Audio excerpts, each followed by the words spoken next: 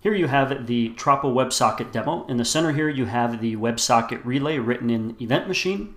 On the right, you have the HTML5 JavaScript page that is actually going to be uh, connected to the relay and receiving events. And on the left over here is the Blink uh, SIP client that's going to allow us to dial into Tropo.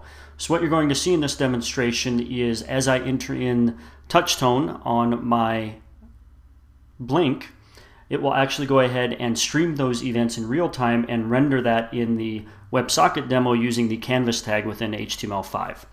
So I'm going to refresh this page. And what you will see is it's actually gone out and connected and created the WebSocket connection to the relay as a subscriber. And then I'm going to go ahead and dial this application.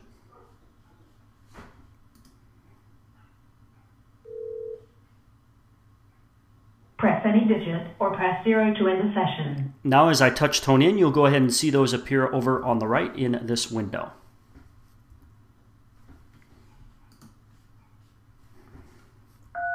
Press any digit or press zero to press any digit or press zero press any digit or press press any digit or press any digit or pre press any digit or press zero to end the session. Press any digit or press zero to press any digit or press zero press any digit or press zero to end the session. Thank you for playing. Goodbye. All right, so you may see that was instantaneous in terms of dialing into the Tropo cloud, pushing those through the relay, and having those appear within the browser.